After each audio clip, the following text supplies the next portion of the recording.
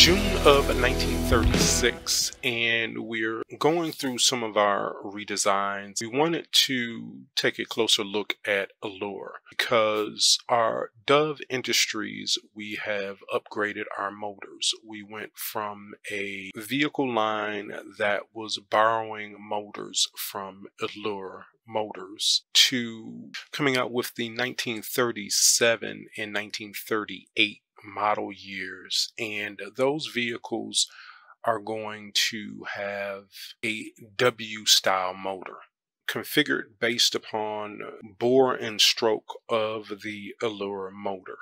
And took that and redesigned that motor so that therefore it could be more efficient. We took some of the stress off of it by this being a newer design. We weren't so sure about the durability of the motor.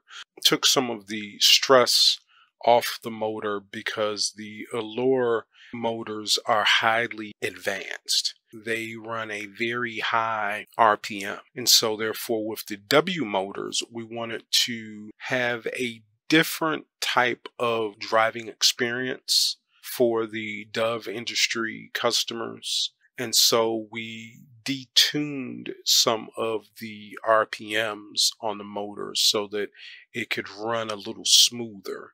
Also in the phase of looking at some prototypes. So we have a new automation design studio so that therefore we can do some testing we weren't able to do before. We had to design a motor and then put a prototype of the vehicle together so that therefore we could get the full understanding of how this motor is going to work and whether or not if it's going to be durable or not. So what we ended up doing was expanding out and by expanding out, we have a new engine shop where our first motor that we are doing our testing on is our Allure Straight 6Q9.1 motor, which is going to be going into our truck line which is the Allure Flow. That's pretty important because the clientele for the Allure Flow is dedicated to seeing the advances of that truck line because that's not your standard truck. It's the first and only luxury performance truck. And we've been running this for a little while now. And our customer base has grown in that market, which is really important because when we were looking at the redesign of this vehicle, we started noticing how important that truck is. And we've taken it in a couple of different steps. First, we just spun it off from a design standpoint. And we pretty much took our Titan truck designed three different or two different variants of that the ETD and we designed the Allure truck.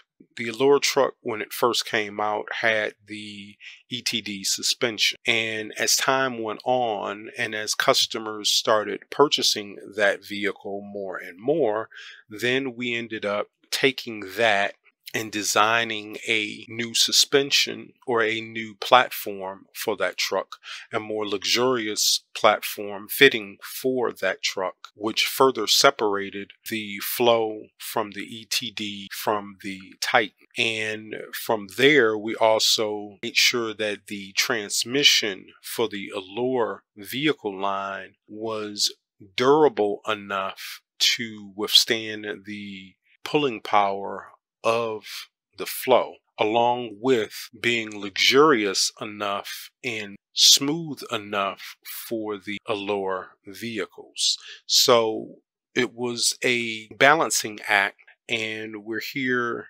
and we're on the next plateau of Allure, redeveloping that brand because it was our one of our original brands and many other manufacturers started off from the Allure platform and even our Emerson motors and Emerson Grande everything except for the Emerson electric. But majority of our vehicles started off from our Allure platform and from there we've blossomed out to have a top line roadster a very luxurious sports truck, four different versions of our luxury sedan Essence, a performance version, and a standard version of our mid-size Cascade sedan, and three different variants of our compact platform. So right now we're going to take you over to the design studio where we've already done some tinkering with the motor and we run a dyno on the motor and it roughly runs about 110 horsepower advertised and 156 foot-pounds of torque advertised. Now, of course, the motor produces a lot more than that, but with the final product, we wanted to make sure that it was operating in a safe range. So this is the way that the motor looks. And this is our truck variant. And of course, it's painted in the same color as the standard design of the Allure vehicles. So it's a straight six motor and the single exhaust goes out and then it is it has a Y pipe at the end that will give an aesthetically pleasing quad exhaust tip. So what we're going to do is we're going to do a manual test.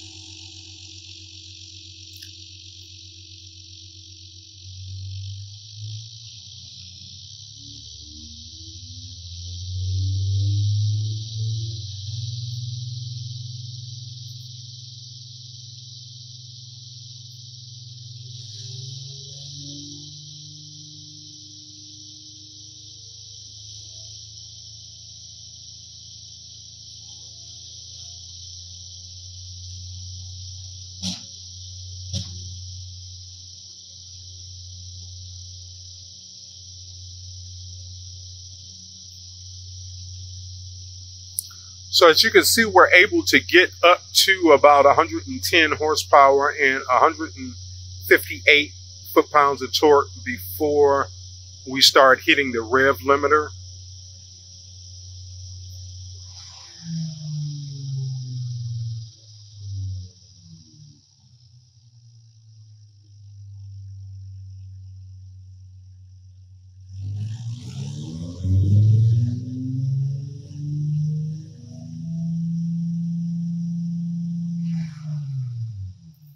And this just tells us that we have to look at our intakes and our exhaust.